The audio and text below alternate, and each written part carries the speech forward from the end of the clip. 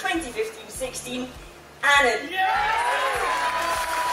Absolutely, there's nothing compares to this. Even sort of seven championships in a row doesn't compare to winning this award. The youth structure is, is magnificent, and, and the ladies as well. And um, seeing some of these young players now, the quality uh, uh, the rugby they're playing at that age can only bode well for us in the future.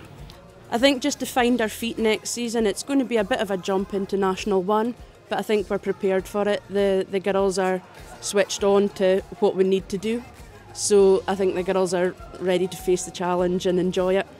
Well, it's a historical season for the club. You know, we missed out last year on uh, the cup picked up this year on top of the, the Charity Shield and, and League, and uh, every club is absolutely over the moon. So yeah, absolutely brilliant.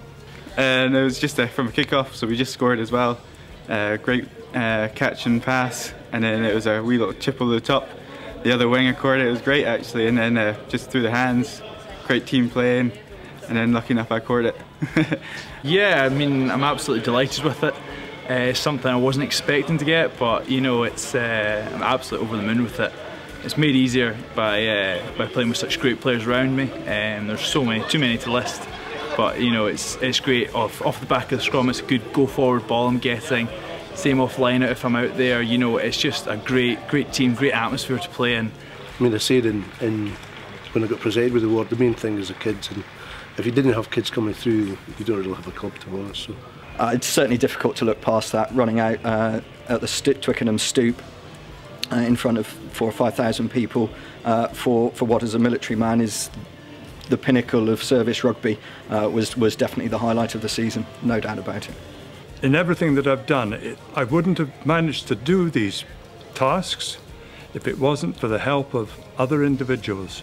I had a good team around me in each task that I took on, and if a job's worth doing, it's worth doing properly.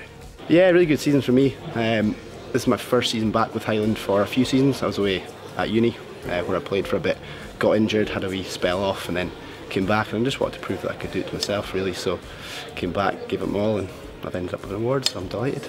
Well, I've got a, I've got a son there, and he plays like he's a kind of late boy in the goal. I got him at age just 25, so he's playing like you know. So that keeps me motivated and all. Like it's a huge honour and uh, lucky to receive such an award. So it's great to see so many Catholic guys here, and also my dad here to see me receive the award. It's great. This is really finished off. This is uh, my fourth year with Murrayfield Wanderers. Um, they're the only senior team I've been with.